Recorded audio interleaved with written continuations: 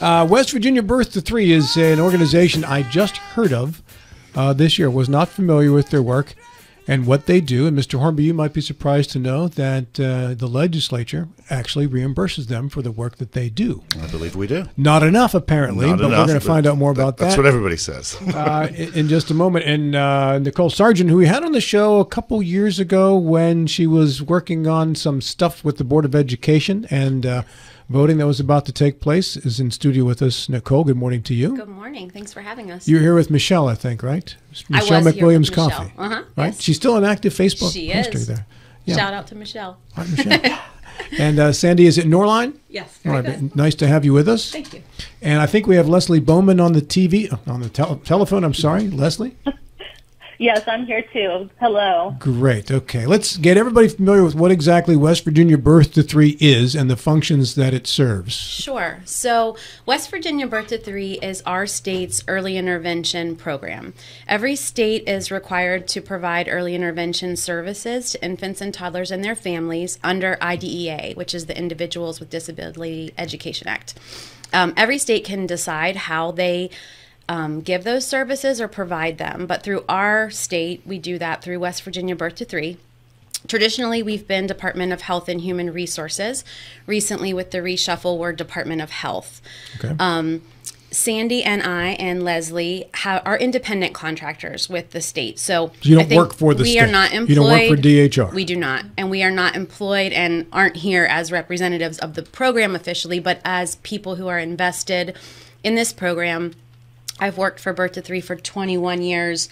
You guys are about the same. Um, I've been here for 20 years, and I think Leslie a few more than that. Yeah, so we we have we love our work. Um, what we do is we serve infants and toddlers who are either developmentally delayed, have a diagnosis, or what we call an established condition that we know leads to lifelong delays. We also serve infants and toddlers who don't have a diagnosis but show through our evaluation process substantial delays in one of five early developmental areas. And we serve children who are at risk for delay. So, children who have enough risk factors that we know they are likely to be delayed. And our goal is to step in during those crucial early years where we know brain plasticity or the ability to make permanent change and development is the highest. We go into families' homes and we sit and work with families on coaching them, teaching the parents, empowering the parents to help with their child's development. Um, so it's very different than a medical model of therapy intervention. We use whatever's in the house, which varies very much from house to house. We use whoever's in the house. That's sometimes extended family, siblings, dogs. Um, we work. We go where children go, and we help parents to be empowered to promote development through play um, for their children. And, and and then, so how does a child get enrolled in this program? Is it through the doctor, through the parent, or what? Anyone can refer to Birth to Three, so physicians do and can refer, but parents can refer themselves. Um, grandparents, you know, family members, anyone who has concerns about a child's development can refer. Um, we do not require a physician's referral or prescription because we do not bill insurance. Our sta- our program is funded through the state of West Virginia um, from several different funding sources, including West Virginia and National Medicaid. If a child is enrolled in your program, let's say it's six months, do they typically stay in till the age of three all the way through? Sometimes and sometimes not. So, if they have an established condition, for example, a child with Down syndrome is entitled to services until they age out at three years old. If a child is found just a certain percentage of delay that um, deems necessary to have our services, every year we reevaluate them regardless. And if they've made progress and they are functioning uh, closer to their closer to or at the level of their age typical peers, then they graduate from our services. We like to say we try to work ourselves out of a job. That's our goal. And what happens after the age of three to these children? Yeah. So we are um, highly invested in transition services. Um, the families have the choice of where they're going to transition their children. A lot of our children transition to the pre-K um, program in our local schools. We start that process nine months before their third birthday, investigating options for families. Sometimes they utilize outpatient services as well. Um, and we, we don't just leave them um, at their third birthday. We kind of walk them through that process every step of the way. And how many children are in in the uh, birth to three process right now on a, in a given year? So I'll, I'll give you a wide view and then we can tell like personal view. Yeah. Um, we're serving 14 to 15 percent of infants and toddlers in West Virginia right now. That's a dramatic increase um, in the last several years. But What can you attribute that to? I think that we're getting better at finding children that have delays. Also, we've had a significant increase in babies with NAS um, and toxic exposure to drugs, and a lot of times those children qualify for our services. Um, but what we're finding is we have we're serving more children, but with fewer practitioners. So um, Sandy can speak to, and Leslie can as well. I'm one of two physical therapists for all of Jefferson and Berkeley County. Um, And how many kids are, are, are you dealing with? I have 70 some children on my caseload. I do have two wonderful physical therapy assistants that help me. Um, but we served over 500 children between the two counties in 2022, I think. Um, and so, and I, I, I like to joke, you know, I, I like to think of myself as young, but I'm not. I'm 47 and I'm the youngest PT in the panhandle that goes in person. Um, we haven't had the ability to recruit or retain younger therapists. And Why not? pay. Uh, I'll be completely honest. Um, we love our jobs. We have not received a rate increase in 20 years. The last time they looked at our rates was 20, 2003. And because we're contractors, out of our rates, we pay our gas, our health insurance, our malpractice insurance, our continuing education, our car maintenance, um, our supplies, everything out of that. And so, um, And that's a reimbursement rate, correct? Is that how that works? we get paid a bulk amount and for our services and it's only our face-to-face services. So if we see four children in a day, we get paid that rate for four children, but we are not paid for our drive time. We don't get mileage. We get nothing else. Do you mind to say what that rate is? Sure. Um, for physical therapists, it is and has been since 2003 $121.84. Um, which sounds like a lot, but it, it again, you can see like four to five kids in a doable day, and then you have paperwork and scheduling and billing and all of these things. So, um, like to give you a comparison, compared to physical therapists that would go and work, say, at the hospital or a rehab facility, I'm probably making. Well, we had a colleague that left, and I think her total reimbursement package, when you put in benefits and things, was close to eighty thousand dollars. The job she took. Yes. What Yeah. was she making at the job she had with West Virginia? Well, we all make about the same. It's that's the other thing. Anybody who works for us gets paid the same. So, you know, I have a master's degree and 23 years experience. If someone graduates from PT school tomorrow and starts this job, they get paid the same as me. Um, there's no differentiation in the state. So, su- therapists in the southern part of the state get paid the same. There's been no change um, in terms of seniority or location or anything like that. The reimbursement rate is the same as it was in 2003. Correct. And so even gas. I mean, think about gas. You know, um, the gas price when we started, I think, what did we say it was like a dollar $1.49. A dollar forty nine when we started this job. So just to fill up our tanks to go see these these kids, you know, we have to get rid of we have to pay all those expenses just to do our jobs. So even just to maintain the same level of income, not even get a raise because of insurance and I mean because of experience, we're not meeting You're, that. 220 in the hole on a gallon of gas. For, correct. And, you know, our state director um, and our local directors are very supportive of our work. They see the changes that we help families, and they're very supportive.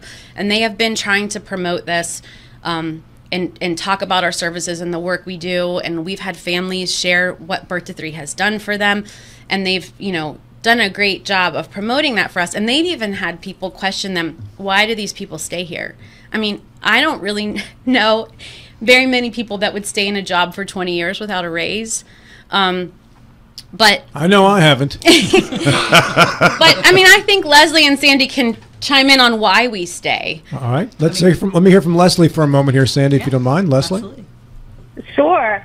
I have probably been with Birth to Three the longest of the three of us. I started back in 1998 um, when I worked for um, Valley Health, and I would do like some contract work through the hospital system with Birth to Three. And then, um, like my friends there, we all kind of joined in full time, went two feet in the water around 2003.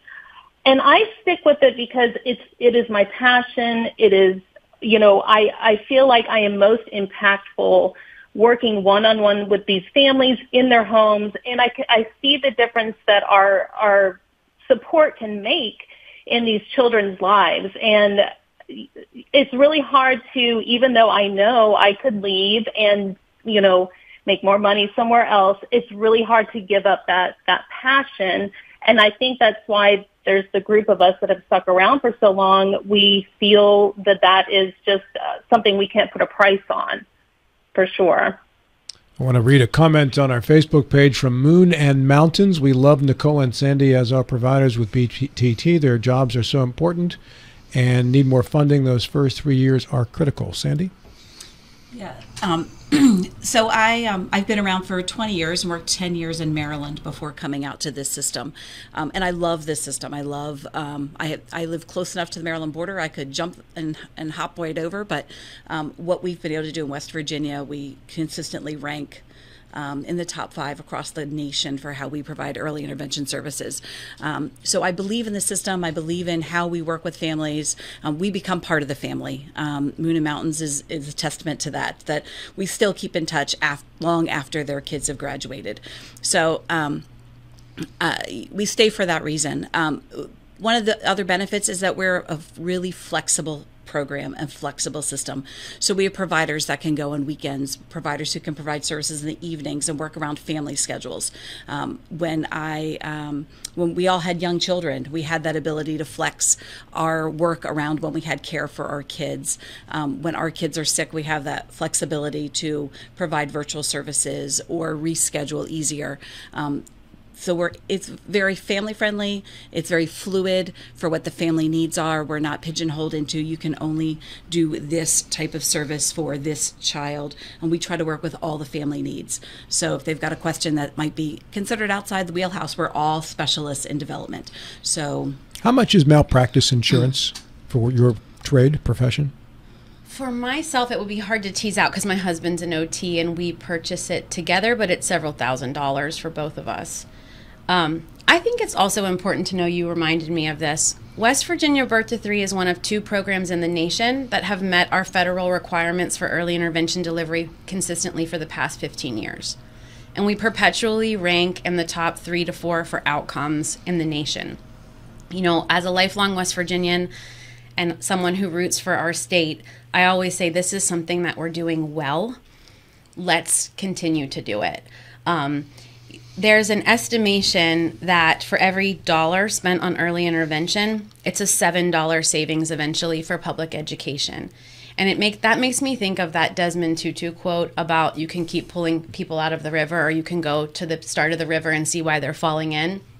And when we're in families' homes and we're providing coaching, not just in our lane of like for me as a PT gross motor skills, but family support and encouragement and enrichment of a child, I do believe that we can make changes to the family structure that carries on for a lifetime. Um, and so I think that's just important to note because it's it is very comprehensive of family needs, not just the child's need. Um, and I've definitely seen our impact there with a variety of families through my career. Have you folks not done a good enough job of shouting out the, the, the work that you do? Do you do you not lobby yourselves well because we're not horn tooters. Yeah, that's the thing. Yeah, Well, I've heard you what- need to We're not- bang, bang your chest a little bit. I will the prison the prison guards uh, we heard about their underpay, the teachers underpay, the school staff underpay, but I didn't even know you existed. Well, two things. One, when there's only two PTs in two counties, there's not a lot of time to spend advocating for yourself when you're busy seeing all the kids. We're, you know, I'm starting to turn children away because there's only so many hours.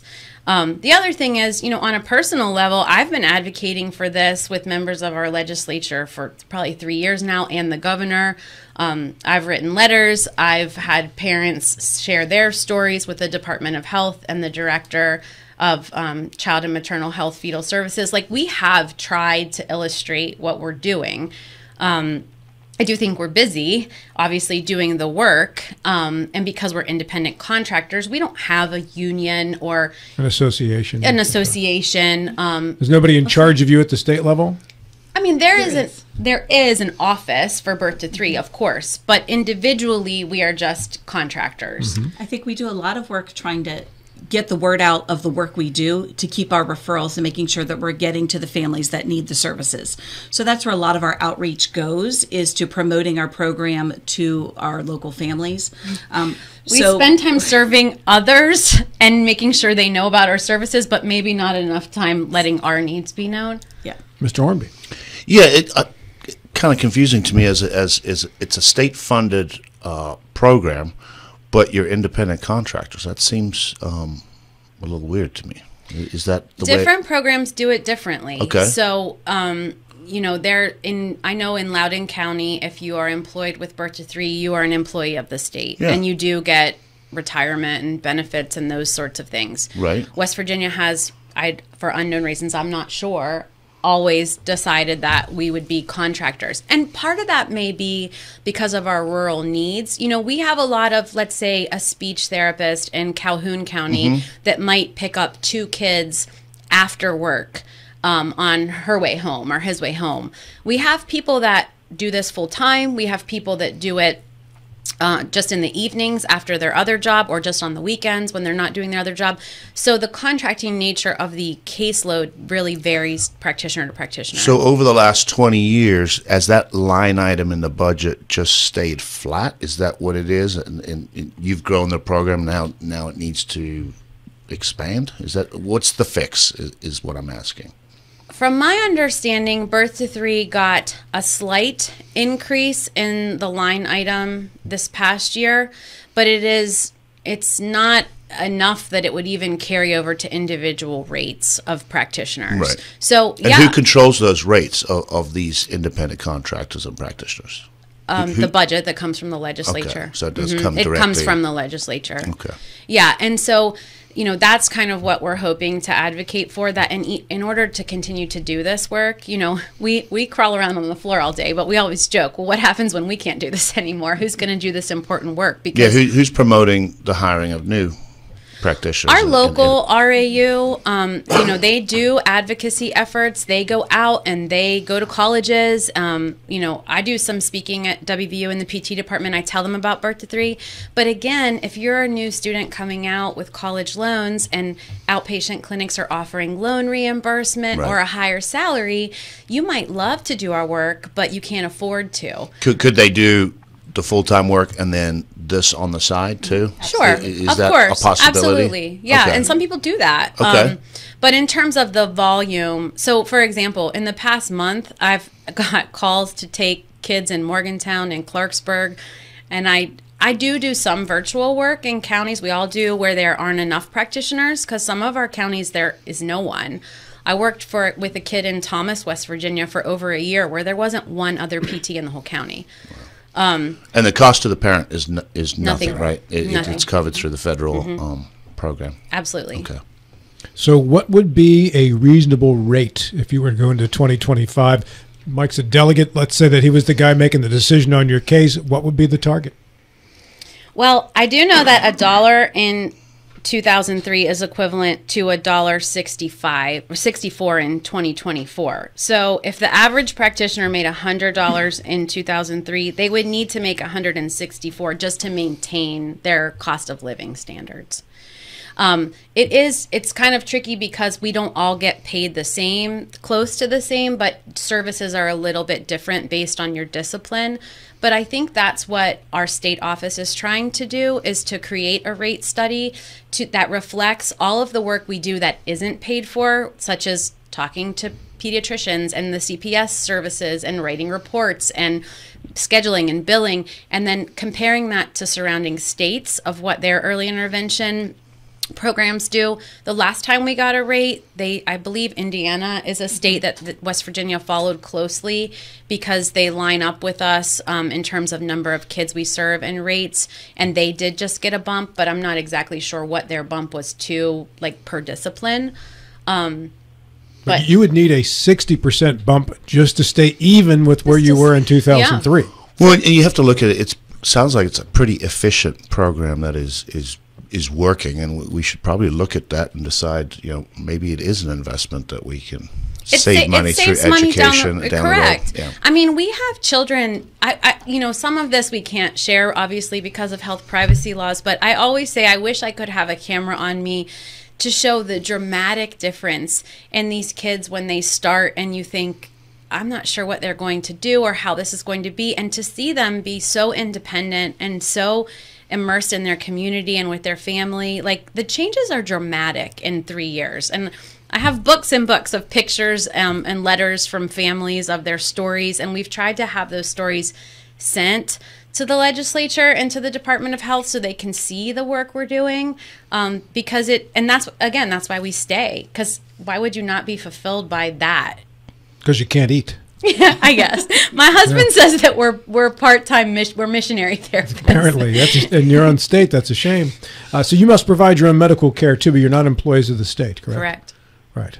That's another way the state is saving money, not having to pay your health care costs. Yeah. Yeah. Or retirement. Right. So No retirement. retirement. with, Retirement, with, with the split up of, of DHR, uh, do you, what umbrella do you fall under with those Department of three? Health. Yeah, we're Department of Department of Health. Health. And if, uh, since now they are a skinnier system, just one out of three, what used to be, have they promised to look into what your rates are and find a way to adjust? From what I understand, there is a commitment to looking at a rate study, but that's all I know. Okay, very good. Well, I appreciate you coming in, uh, Leslie. I appreciate you being on the phone, patiently waiting. Thank you so much. Thank you guys so much. And, And uh, I'll commit to asking some questions. Thank you. We Yes. appreciate oh, that. Oh, we would love. Thank you so much. Yes. see, good things happened, right? At least the start of a good thing, right? yeah. Nicole and Sandy, thank you both so much. Thank, Thank you. And thank you for the work that you do. Missionaries in your own state, right? Thanks. Thank you. Great stuff. Young